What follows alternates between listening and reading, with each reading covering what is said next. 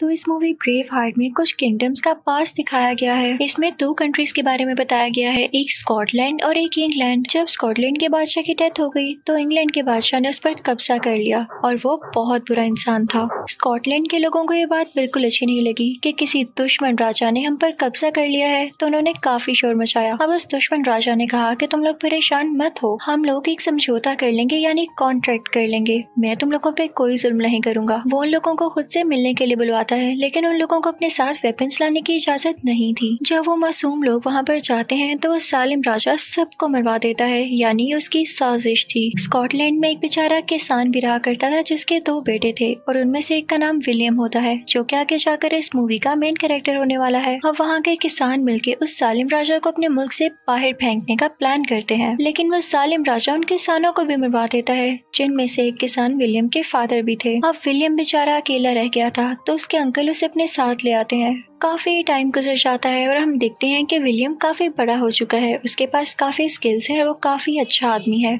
जब वो इतना बड़ा हो चुका है तो उसके अंकल कहते हैं कि क्यों ना हम अपने पुराने गाँव वापस जाए। वो जैसे ही वहाँ पर जाता है तो अपने काफ़ी ज़्यादा दोस्तों से मिलता है। वहाँ पर उसे एक लड़की भी दिखाई देती है जो की बचपन में उसकी काफ़ी अच्छी दोस्त थी और वो भी अब काफ़ी बड़ी हो चुकी थी। वो लड़की बहुत प्यारी थी। वो दोनों एक दूसरे को पसंद करने लगते हैं। लेकिन उस जालिम राजा ने शादी पर पाबंदी लगा रखी थी, यानी वहाँ पर कोई शादी नहीं कर सकता था। राजा उन सबसे सिर्फ़ अपने काम करवाया करता था। तो विलियम और वो प्यारी लड़की छुपकर शादी कर लेते हैं। अब ये बात किसी को नहीं पता थी कि विलियम ने शादी कर ली है। तब विलियम की बहुत इज़्ज़त किया करते थे क्योंकि उनके फादर भी काफ़ी अच्छे इंसान थे। गाँव में जो लोग बाकी बच गए थे और वो सालिम राजा के जुल्मों से तंग आ चुके थे। तो वो विलियम के पास जाते हैं और कहते हैं कि क्या आप हमारे लिए लड़ेंगे? तो विलियम कहता है कि नहीं, मैं किसी लड़ाई में नहीं पड़ना चाहता। मुझे सुकून से मेरी ज़िंदगी गुजारनी है। मुझे अपने फादर की तरह खेती बाड़ी करनी है और कुछ नहीं। अब एक दिन विलियम की प्यारी बीवी कहीं जा रही होती है कि तभी वहाँ पर जालिम राजा के सिपाही आकर उसे पकड़ लेते हैं। लकीली वहाँ पर विलियम भी आ जाता है और उन सिपाहियों को काफ़ी ज़्यादा मारता है। विलियम की बीवी ने भी एक सिपाही को मारा था, उसे हिट किया था। विलियम अपनी बीवी को उनसे छुड़वाता है और उससे कहता है कि तुम एक जगह पर पहुंचो। मैं इन सिपाहियों से जान छुड़वा लूँ तो मैं तुम्हें वहाँ पर ही मिलूँगा। अब विलियम की वाइफ यानी उसकी बीवी, उस तरफ़ भागने लगती है। लेकिन रास्ते में उसे उस सालिम राजा के और सिपाही पकड़ लेते हैं और उसे कैद कर लेते हैं। दूसरी तरफ़ विलियम बाकी सिपाहियों से लड़ रहा होता है और उन सबको मार के उस जगह जाता है, जहाँ पर उसने अपनी बीवी को जाने का कहा था। लेकिन वहाँ पर उसे अपनी बीवी दिखाई ही नहीं देती। उसे पता चलता है की उसकी बीवी को उन बाकी सिपाहियों ने मार दिया है। उसको एक दरख्त के साथ बाँध कर उसका गला काट दिया गया था। विलियम को ये देखकर बहुत गुस्सा आता है और जिस आदमी ने ऐसा किया था, विलियम उसके साथ भी ऐसा ही करता है। वो उसकी गर्दन भी काट देता है। जब विलियम अपनी उस बीवी को देखता है जो कि अब इस दुनिया में नहीं रही थी तो उसे बहुत गुस्सा आता है, क्योंकि वो अपनी बीवी से बहुत प्यार करता था और उसे कभी नहीं खोना चाहता था, क्योंकि उसने अपनी ज़िंदगी में सब लोगों को खो दिया था। वो ये डिसाइड करता है की वो जालिम राजा से बदला ज़रूर लेगा। दूसरी तरफ़ गाँव में ये बात फैल जाती है की विलियम ने शादी कर रखी थी और उसकी बीवी को किसी ने मार दिया। तो उन सबको भी उस सालिम राजा पर बहुत गुस्सा आता है और वो सब इस बात से काफ़ी खुश थे कि विलियम ने सालिम राजा के कई सिपाहियों को मार डाला। यानी उस राजा की ताकत काफ़ी हद तक कम हो गई है। वो सब लोग विलियम के पास आते हैं और उनसे कहते हैं कि हम आपका साथ देना चाहते हैं। आपने बहुत अच्छा काम किया। वो विलियम को अपना लीडर बना देते हैं। जब उस सालिम राजा को ये बात पता चलती है कि गाँव के काफ़ी ज़्यादा लोग और विलियम मुझ पर हमला करने वाले हैं तो वो काफ़ी घबरा जाता है। उसका एक बेटा भी होता है, लेकिन वो काफ़ी वीक था। उसे जंग करने के या लड़ने के कोई तरीके नहीं पता थे। उसके बेटे की जिस औरत के साथ शादी हुई, वो एक प्रिंसेस थी और बहुत अच्छी औरत थी। यानी उस सालिम राजा का बेटा इतनी अच्छी लड़की को डिजर्व नहीं करता था। दूसरी तरफ़ स्कॉटलैंड में विलियम और उसके साथी प्लान कर ही रहे होते हैं कि राजा पर किस तरह से हमला करना है। केसी से पहले उस सालिम राजा अपनी बहुत बड़ी फौज तैयार करके उसकी तरफ़ भेज देता है। गाँव के लोग घबरा जाते हैं और विलियम से कहने लगते हैं कि हम इनके मुकाबले में तो बहुत थोड़े हैं। तो विलियम उनसे कहता है, थोड़े ज़रूर हैं, लेकिन कमज़ोर नहीं। हम जीत कर दिखाएँगे। ये लड़ाई काफ़ी इंटरेस्टिंग होने वाली थी, क्योंकि विलियम का दिमाग बहुत तेज था।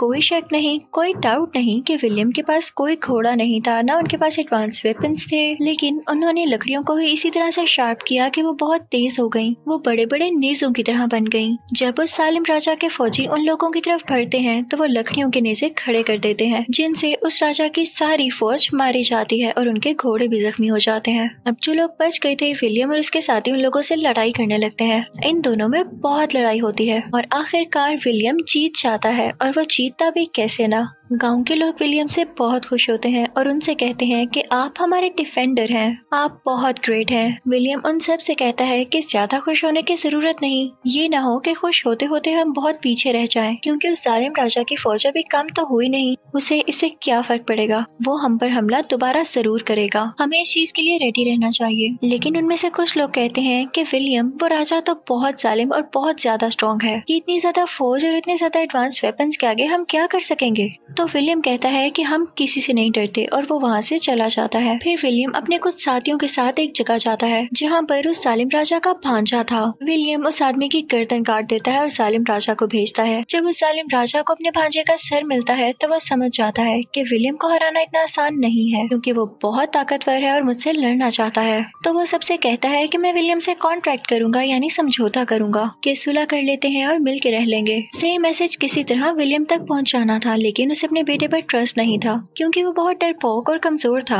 तो वो अपनी बहू यानी डॉटर इन लॉ के पास जाता है और उससे कहता है कि मुझे तुम पे पूरा यकीन है तुम एक ताकतवर बाप की बेटी हो और मेरा ये काम कर सकती हो। तुम विलियम के पास जाओ और इस कॉन्ट्रैक्ट की बात करो। अब प्रिंसेस ऐसा ही करती है और सीधा विलियम के पास जाती है। वो विलियम से कहती है कि राजा आपसे समझौता करना चाहते हैं। तो विलियम कहता है कि हाँ, हर किस नहीं ये उसकी साजिश है जैसे मैं नहीं जानता। पहले भी उसने समझौता करके मेरे बाप को मार डाला। उसने कई गाँव वालों की जान ले ली। मैं उस पर कभी बेतबार नहीं करूँगा। मैं इस पर ट्रस्ट कैसे कर सकता हूँ? प्रिंसेस विलियम से काफ़ी रिस्पेक्ट से बात कर रही थी तो विलियम को भी ये बात पसंद आती है और वो उस प्रिंसेस से कहता है कि जब तुम आगे क्वीन बनो तो प्लीज़ अपने मुल्क का ख्याल रखना। तुम उस सालिम राजा की बातों में कभी मत आना। तो प्रिंसेस ये सुन के वहाँ से चली जाती है। रास्ते में सोच रही होती है कि मुझे विलियम अच्छा लगने लगा है, क्योंकि वो वाकई में अच्छा आदमी था। अब प्रिंसेस अपने मुल्क वापस पहुँच चुकी थी। वो राजा को बताने ही वाली होती है कि विलियम ने समझौते से इनकार कर दिया है। यानी वो हमारे दरमियान कोई कॉन्ट्रैक्ट नहीं चाहता। इससे पहले वो सालिम राजा की बातें सुन लेती है। यानी उसकी ये बात कि हम कॉन्ट्रैक्ट कर लेंगे सिर्फ़ एक साजिश थी। वो विलियम पर छुप कर हमला करना चाहता था और उसे मारना चाहता था। और वो उसी हमले के बारे में अपने साथियों से बात कर रहा होता है। प्रिंसेस को ये बात बिल्कुल अच्छी नहीं लगती और इसके बारे में वो विलियम को बता देती है। उसे एक लेटर भेज कर अब विलियम उधर भी अपनी फौज तैयार कर लेता है। और अब वो दिन आ चुका था जब उस सालिम राजा ने विलियम और उसके आदमियों पर हमला करना था।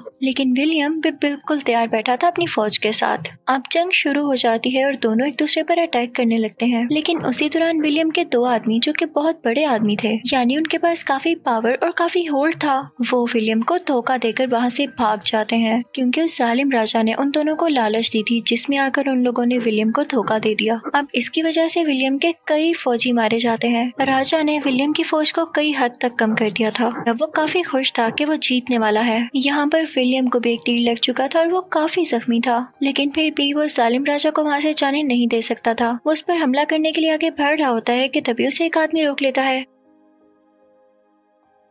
अब इन दोनों में लड़ाई होने लगती है। विलियम उस आदमी को मारने ही वाला होता है, लेकिन विलियम जब उसका मुँह देखता है तो देख के हैरान रह जाता है, क्योंकि वो आदमी कोई और नहीं, बल्कि उसका सबसे अच्छा साथी था। और विलियम ने ये भी सोचा था कि वो मेरे साथ मिलकर इस मुल्क को चलाएगा। लेकिन उसने तो विलियम को धोखा दिया, क्योंकि वो विलियम को मारकर खुद रूल करना चाहता था। विलियम को काफ़ी बुरा फील होता है। विलियम वहाँ पर काफ़ी जख्मी हो जाने की वजह से बेहोश हो जाता है। उसने उस धोखेबाज आदमी को भी अभी नहीं मारा था। अब बेहोश विलियम की तरफ़ उस सालिम राजा की फौज आ रही होती है। लेकिन न जाने उस धोखेबाज आदमी के दिल में क्या आता है। वो रिग्रेट फील करने लगता है, उसे पछतावा होने लगता है। वो फ़ौरन से विलियम को किसी आदमी को दे देता है और उसे कहता है कि इसे यहाँ से सेफली ले जाओ। वो जब देखता है कि उसके गाँव के कई ज़्यादा लोग मर चुके हैं तो उसे दुख होने लगता है जो उसने किया और वो खुद से वादा करता है कि वो कभी विलियम को दोबारा धोखा नहीं देगा। दूसरी तरफ़ जब विलियम को होश आती है तो वो एक ठान लेता है, यानी प्लान कर लेता है कि मैं सालिम राजा को अब नहीं छोड़ने वाला। वो रात के अंधेरे में उनकी तरफ़ बढ़ता है और उन पर छुप के वार करने वाला होता है। राजा भी असल में अंदर से डरा हुआ था, क्योंकि वो जानता था कि विलियम अब ज़रूर जंग करके रहेगा और वो पीछे हटने वालों में से नहीं है। तो वो अपनी बहू को दोबारा बुलाता है, जो कि प्रिंसेस थी और अब विलियम को पसंद करने लगी थी।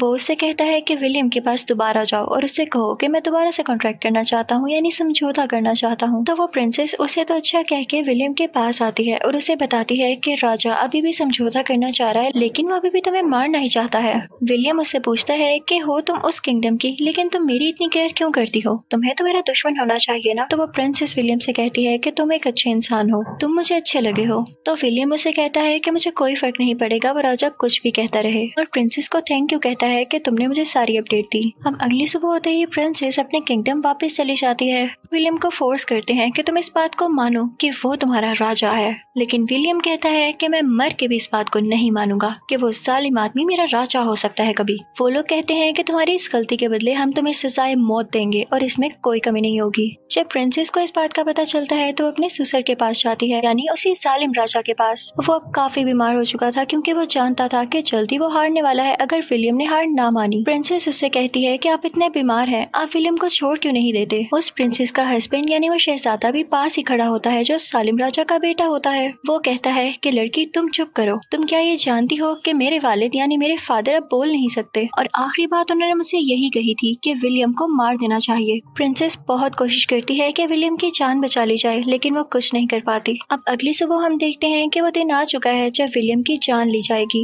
उसका गला काट दिया जाता है और उसके जिस्म के कई हिस्से कर दिए जाते हैं। उसके जिस्म के अलग अलग हिस्से डिफरेंट किंगडम्स में भेज दिए जाते हैं। सबको ये बताने के लिए कि किसी ने हमारे साथ बुरा किया तो हम उसका ये हाल करेंगे। लेकिन जब ये बात स्कॉटलैंड के लोगों को पता चलती है तो वो आदमी जिसने पहले विलियम को धोखा दिया था और बाद में उसे पछतावा हुआ था, उसे बहुत गुस्सा आता है और वो कहता है कि मैं बदला ज़रूर लूँगा। सारे गाँव वाले एक साथ मिल जाते हैं और इस यूनिटी की वजह से फाइनली वो इंग्लैंड वालों को हरा देते हैं। स्कॉटलैंड पूरी तरह से फ्री हो चुका था और बिल्कुल इंडिपेंडेंट और आज़ाद था। ये मूवी यहीं पर एंड होती है। Thank you for watching